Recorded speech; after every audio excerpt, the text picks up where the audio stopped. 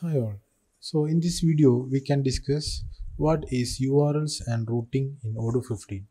So this is my custom module and here you can see inside a controller I have defined a new controller called biography.py and inside this class you can see I have defined an http.route decorator followed by I have mentioned a route and some parameters for this rule uh, about uh, like the access and authorization for uh, website and type etc so here why we use a dot http uh, uh, why we use an http dot route decorator is in website whenever we open a particular route in order to trigger some function we can call this http dot route like at api dot depends we use in the model files.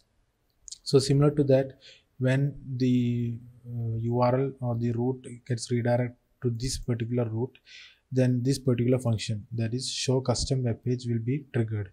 And inside those function whatever we uh, define that will be performed during that action uh, time.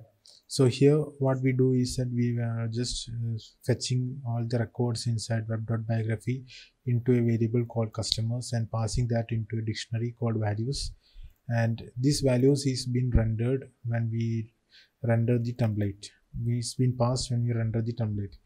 So upon passing that we here you can see we pass, receive the person uh, that is the this dictionary uh, or the entity here. And we are iterating the records over that in this each t field so that it will be displayed in the front end. So here you can see when I currently it is in this route and when I click on biography you can see the route changes to slash biography and the function was triggered and those data which we entered here got printed here. So this is how URLs and routing are defined in Odoo 15. Thank you.